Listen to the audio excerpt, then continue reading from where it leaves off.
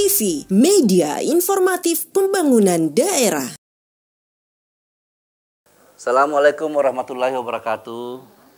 Saya sebagai pemerintah Kabupaten Pulau Mandar pertama-tama mengucapkan selamat memasuki bulan suci Ramadan 1441 Hijriah. Sekarang kita telah mendapatkan wabah yang namanya Corona atau COVID-19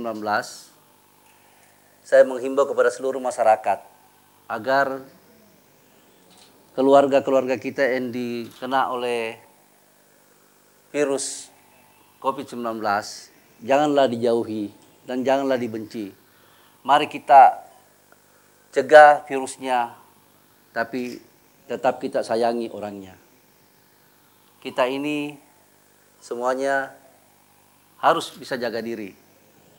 Setiap keluar jaga jarak.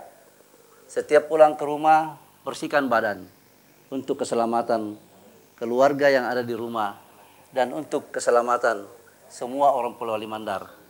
Terima kasih atas perhatiannya. Wassalamualaikum warahmatullahi wabarakatuh.